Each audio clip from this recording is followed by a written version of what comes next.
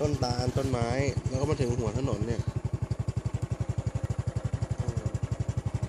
บ้านอยู่นู่นบ้านอยู่นู่นถึงต้นตาลนู่นไหนต้นตาล